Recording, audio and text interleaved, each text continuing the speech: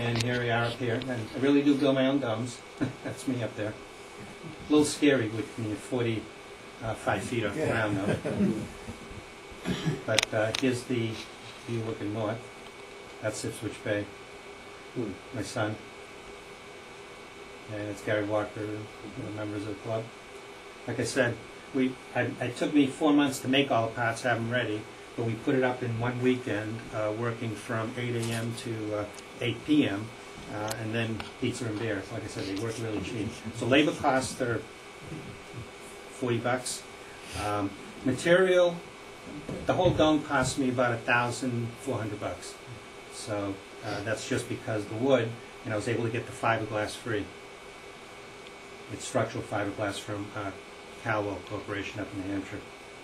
Um,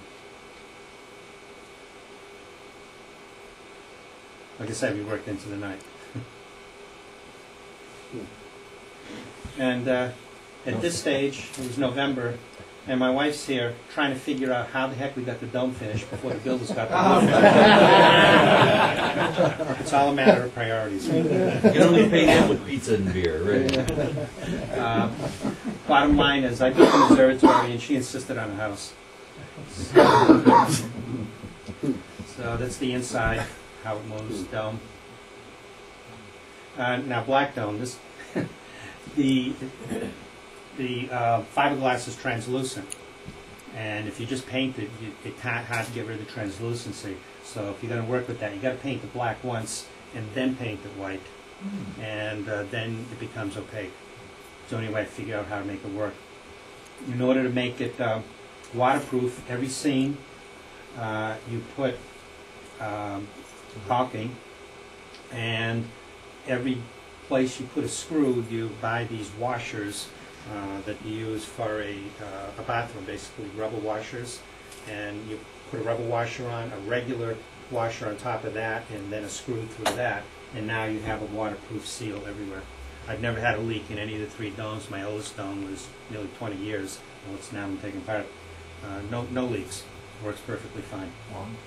How many screws did that take, or you just assign a Uh, a couple of thousand. Anyways, there's the uh, finished dome. Jeez. Here's the control room. And uh, it's nice having a warm, wow. this is the first top observatory I have that has a nice warm control room, actually. It's well insulated, super insulated from this side to the other side. Uh, Especially thick walls with lots and lots of insulation. And basically, I can sit here or here, or actually anywhere in the house and run the dome. In fact, my, my fervent wish is after I finally get everything computerized, including the rotation of the dome, uh, I want to sit in my hot tub on the other end of the house and take a. I just want to be able to say I did that once.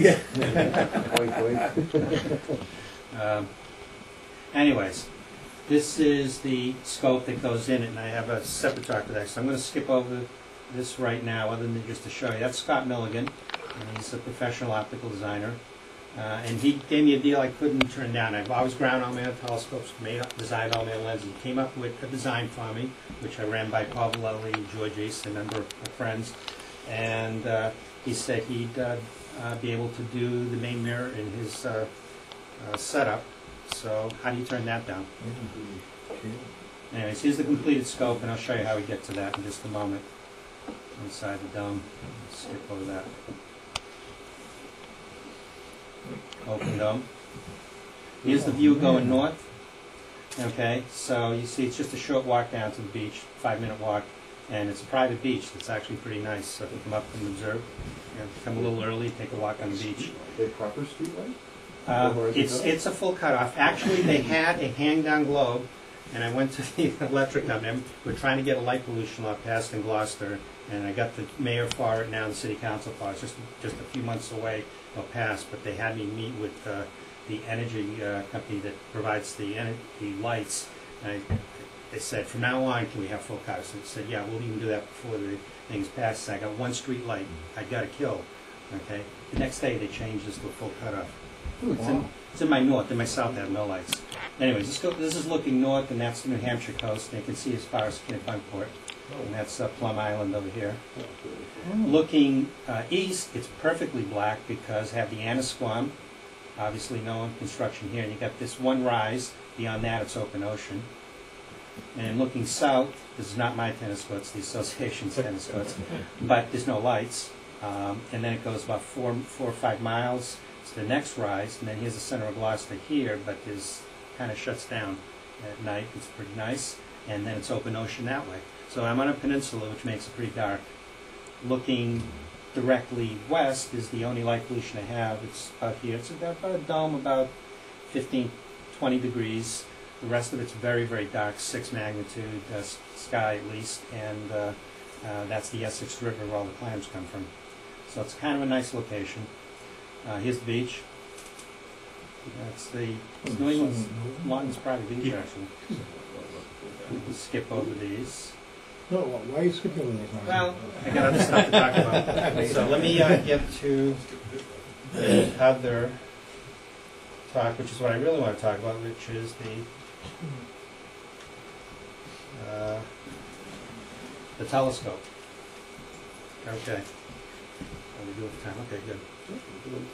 Well, I just want to spend more time talking about the scope and the construction. The easiest thing. So let's skip over that. Um,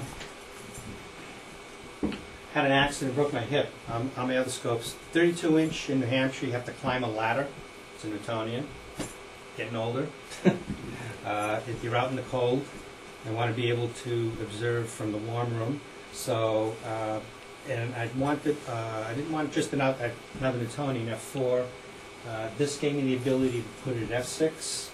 It's an all spherical optical design, and there's six elements here, so there's 11 optical surfaces had to be made and something unique, and that uh, drove, drove me to it as well. It's the largest relay scope ever made.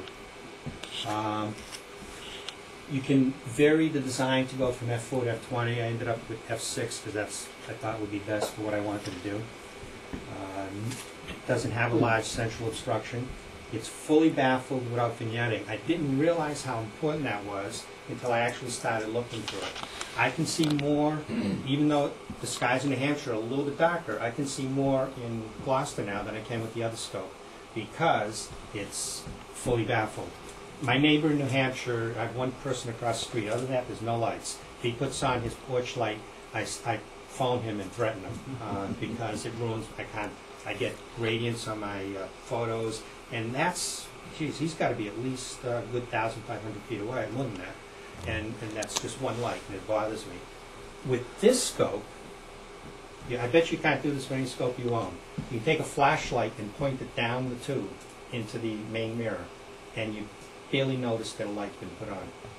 I know you find that hard to believe, but I've done this, and it- it just blew me away.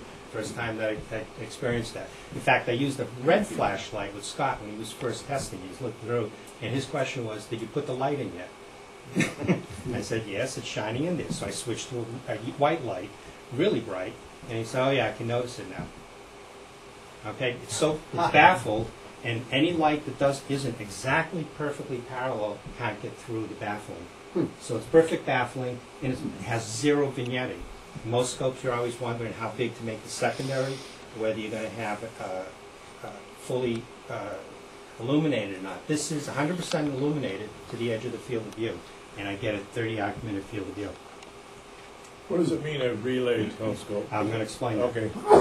And it's all spherical design, which uh, makes it a little easier to make the main mirror. Um, Off-axis symmetry in, would be limited if you go too far out. Turns out you got 42 millimeter, uh, uh, which comes to 30 arc minutes. Uh, It's a little more complex design, so I have to take very careful uh, measurements to make sure everything comes out right. Took a little more time for that collimation tolerances. My primary and my secondary can't vary by more than 25 thousandths, which means just winter to summer, I would lose all collimation. Fortunately, following the audience. He must be outside with his, uh, playing with his light bridge. He just happened to have a mock-up of the Halo satellite, which he stole from Itek when they sat. They always make two satellites, one goes up, one, okay. So he had it there, He- we ended up cutting it apart.